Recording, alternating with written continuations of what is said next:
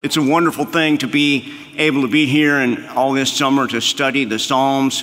So let's ask the Lord to bless them to us today. Our Lord, we're thankful to you who have inspired your word and given it to us. We pray that we will listen to it today, that it will speak to us in a special way, and that everyone who's here will go out knowing that something incredible has happened in this service. And we pray this in the name of our Lord Jesus Christ. Amen. One of my uh, favorite of Shakespeare's plays is King Lear. It's, it's a dark play, and for a while in the, in the 1800s, uh, it wasn't done the way that Shakespeare wrote it because it's so dark. But at the beginning of the play, there's a king, his name is Lear, hence the title, and he has these three daughters. And the king is an old man by that time, so he decides that he will divide up his kingdom among his three daughters. And he says to them, I want you all to tell me how much you love me. And if you tell me how much you love me, that'll depend on how much you get of my kingdom. He has three daughters, one named Goneril, one named Regan, and one named Cordelia. And so Goneril, the oldest, who really doesn't love her father, puts on this big, big speech about how much she loves him, how wonderful it is to be his daughter. The next daughter, Regan, also who doesn't love her father, puts on another big speech about how much she loves him and how wonderful it is to be his daughter. And then the youngest is Cordelia, who genuinely does love her father. And she simply says, Father, you know that I love you doesn't put on a big speech, doesn't make a big deal out of it. And her father is so angry that he throws her out of the, uh, the courtroom and he gives his kingdom to Regan and Goneril. It's not long after that that Regan and Goneril decide they would be better off without the king. And so King Lear ends up going from the top of his game, being the king, all the way down to standing outside in the rain with no friend except his fool, the jester. He had lost everything.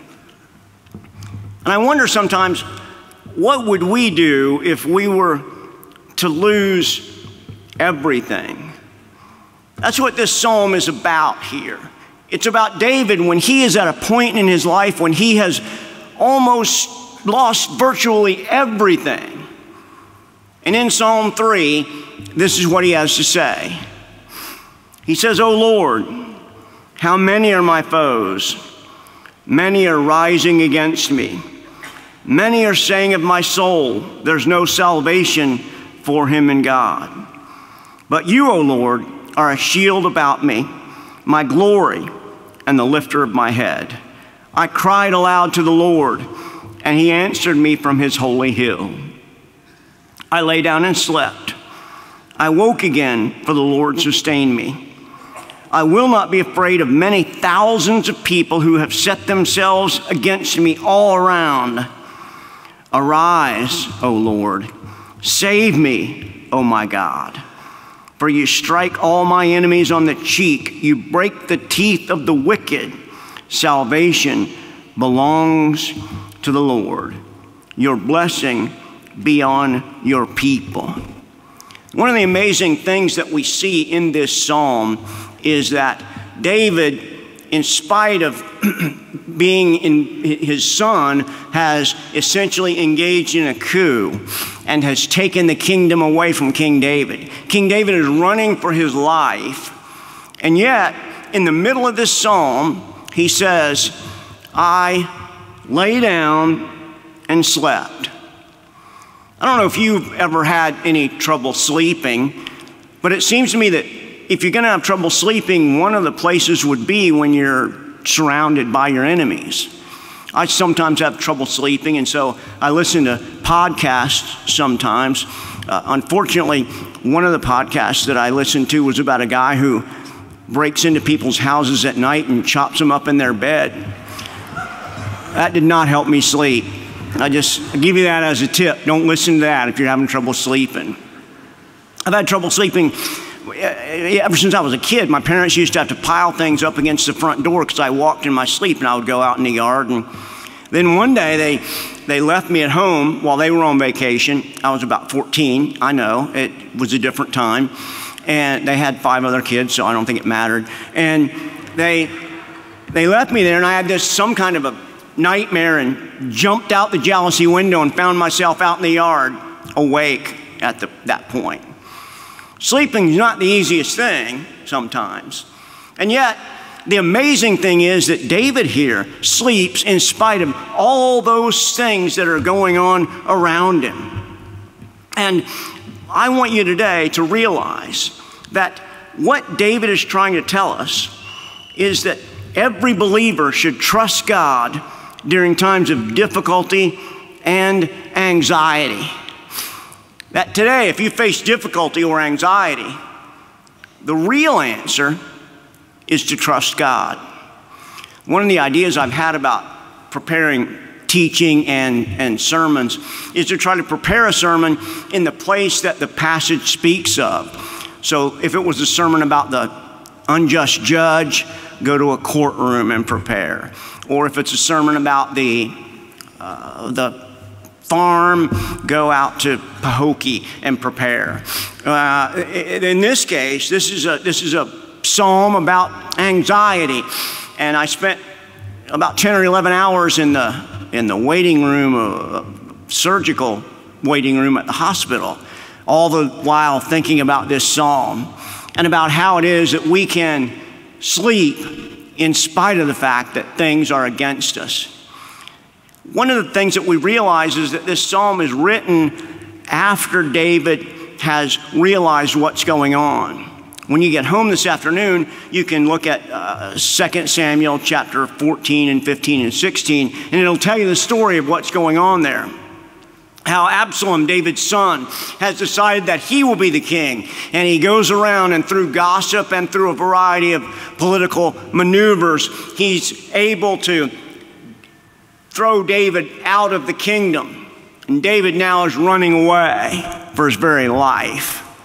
So, what is it that David teaches us? How is it that we can trust God during these times of real serious problem in our life? I think there are at least three things that we can learn from this psalm and from this story about David.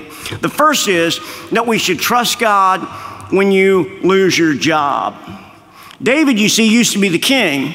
He used to be the most powerful person in all of Israel. He had virtually everything that he could have wanted. He was protected on all sides, and yet now, as he writes this psalm, He's out in the desert somewhere by himself, being surrounded by enemy armies, not knowing when or if those armies will indeed come against him. And yet he's still able to sleep. I know that all of us have some kind of a job or another, but we need to be careful that we don't value our job above, above what we, we ought to. For some of you, it may be your job as a mother and you don't know what you'll do when your children move out. For others of you, it may be a regular job and you don't know what would happen if, if, if your boss came to you and said, Listen, things are not working out. I'm sorry. You're, you're going to have to clean out your desk. This is your last day. Those are the kind of things that hurt us in a significant way. And yet, David was hurt even more than that. Hurt even more than, than just having his job because this was his very calling. He was the king of Israel. And yet, no longer. Now he slept outside like a dog, surrounded by people who wanted to kill him, but he still slept. It's an amazing thing that David can say, in spite of all that, in spite of all the things that I was losing, in spite of all the things that were crashing in around my mind, I slept. Some of you know what that's like. Some of you can sleep anywhere, preferably not here, if you don't mind, but uh, I get it. Uh, but some of you have this just this running mind that when you lay down, it just seems like it will never stop. And you can imagine what David was thinking about as he was there that night, knowing that if that foreign army or that other army that Absalom had raised against him decided to come against him, it would be his last night on earth. And yet, he slept. And so, all of us, when we face that, that kind of loss of, of our job, loss of our calling, loss of who we are, we can trust God because there's really no one else who can help us. And there's a second thing that David teaches us. Not only does David trust God in this point when people are against him, and you see that in the first couple of verses of the psalm where David says, Look, all these thousands of people have come against me, and they say evil things against me, and they do all these things against me. David didn't just trust God when he lost his job, but he trusted God when he lost his, his status or his status. The, the play King Lear really is all about gaining status. You see, there are some people who think that in order for them to have more status, status, they have to pull somebody down. They can't raise themselves back up. That's what happened in King Lear with the two wicked daughters, Goneril and Regan. They both go to fight one another, wanting more and more of their father's kingdom until eventually they both die. David was running away, former king of Israel, now running for his life. And there was, you'll, you'll read when you read this passage, there was a man named Shimei. And Shimei hated David. And this gave him his great opportunity. Shimei stood up on a hill as David was walking by and he threw rocks at him. And he said, You are the worst king ever. You are a king who kills people. God will never let you be the king again. And yet, in spite of that, Shimei saying all those things, David was still able to sleep. You know what it's like when people say things about you that aren't fair or that aren't true. And how those things come back to you in, in, at night when you're lying by yourself and you think to yourself, why would they say that about me? Why would they say those things? It's not fair, it's not right, that's not who I am. But you don't know how to defend yourself against it. The only way that David had to defend himself was to trust in someone else. That is, to absolutely place his trust in God. Shimei follows along, saying all these things. And then David says, You, God, are the one who will break the teeth of the wicked. It's kind of a, an unusual thing to find in a psalm that you, God, will break the teeth of the wicked. It, it's hyperbole. It's not really asking God to break out everybody's teeth. But in all likelihood, what's being asked is that God will shut the mouths of those who speak against him. Because when you have a mouthful of teeth, then you, you can't speak. And that's what David is calling for here. God, all these people that are speaking against me and thus speaking against you, the God of the universe, shut their mouths. And then David lays down and goes to sleep. There's a third thing that David trusts God, not just, he doesn't just trust God when he loses his job, he doesn't just trust God when he loses his, his status, he trusts God when he loses his family. David had already lost one child, you remember uh, the whole story of Bathsheba and the child dying in infancy. But this is another child. This is a, uh, an older child, Absalom. He's an adult. And yet he's, he's raising up this army to fight against his very father. You can imagine how David must have felt to see his father, his, his son, his very son, the son whom he had raised, fighting against the very things that he had spent his life building up. Some of you may be familiar with the uh, minister John Piper. a fundamental, uh, a, a, Reformed Baptist from uh, Minneapolis. John Piper has a son named Barnabas, and uh, everyone, I, I, have been to Piper's uh, sort of weekend for pastors that he has every year, and, and Barnabas, his son, would speak there every once in a while. But over the past couple of years, Barnabas has decided that Christianity isn't true. And he's become this huge star on TikTok. And all that he does in those, those videos on TikTok is to make fun of Christianity, to tell how horrible a childhood he had, to tell how he doesn't like the church and doesn't believe these things anymore.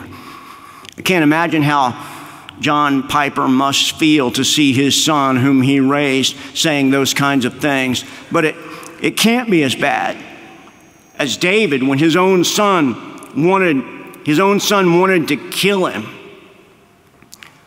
But David trusted in God. And you remember what happened to Absalom. Absalom was riding along on a horse. He has long hair and all of a sudden his hair or his head, it's difficult to tell from the text. Either his head gets caught in the tree or his hair gets caught in the tree. When I was a kid, uh, I grew up in a fundamentalist Baptist church where for men to have long hair was a horrible thing. And that was why, because long hair got Absalom killed. That was what, no, really, that was why. So I've never been caught in a tree by my hair, ever.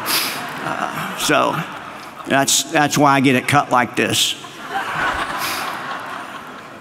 the men come along, they see Absalom hanging there by his head, and they stab him, and he, he dies.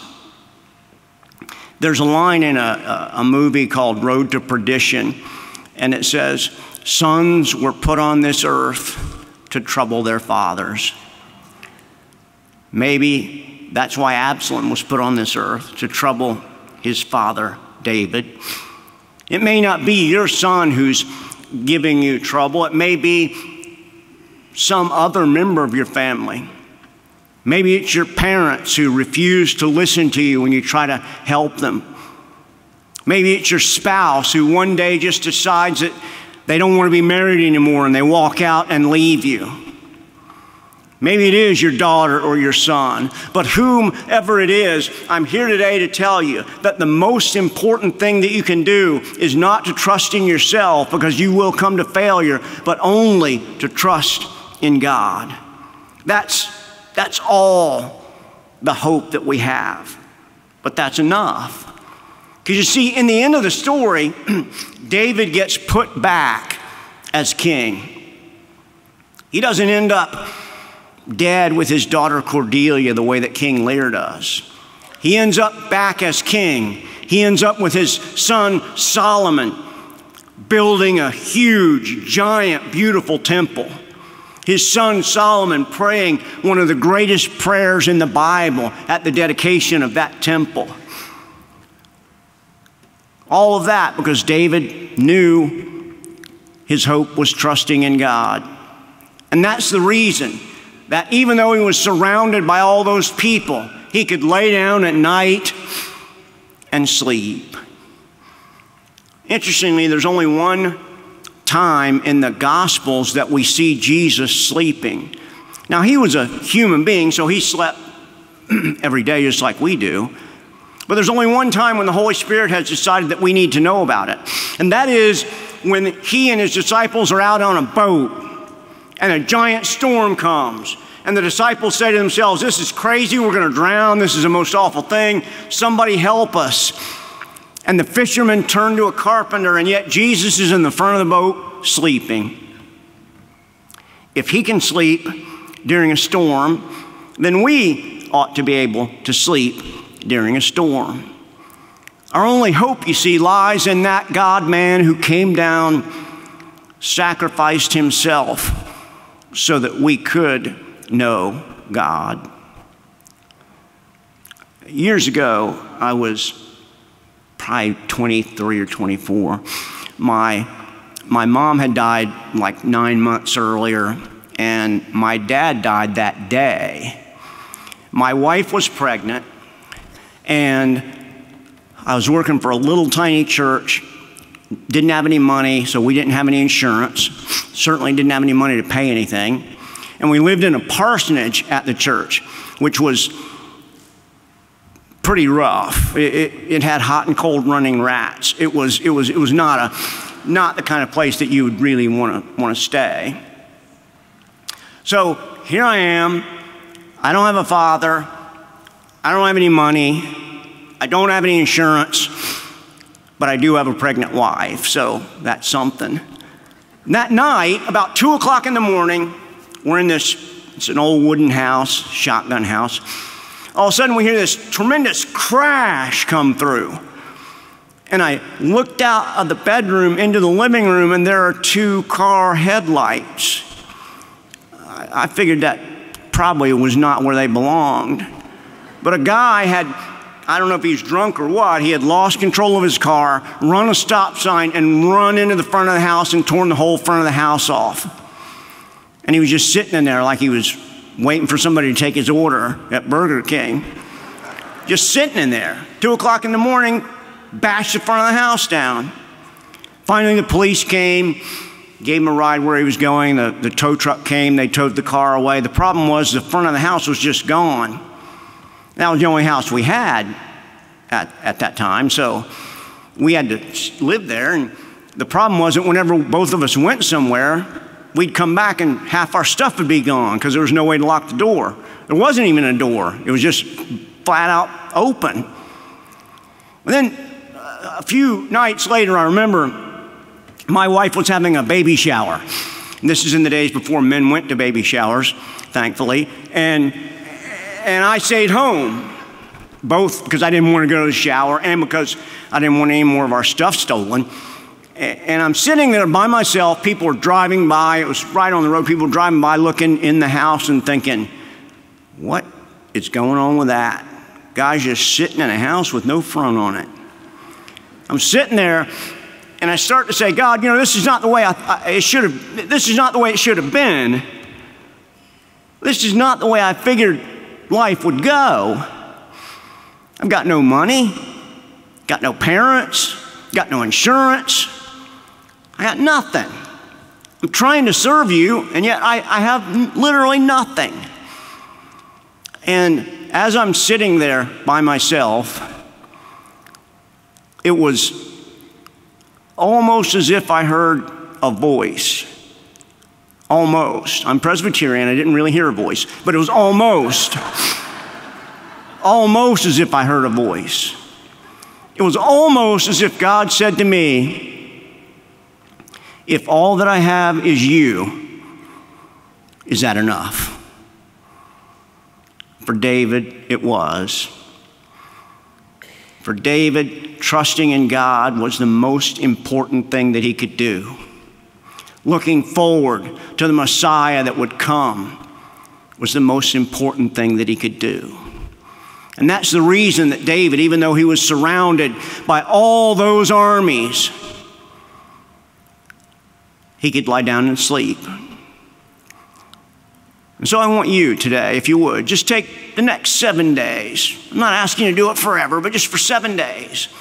That when you lay down at night and all of those things that are bothering you, just turn them over to God like David did. Because you see, we can sleep because, because God doesn't.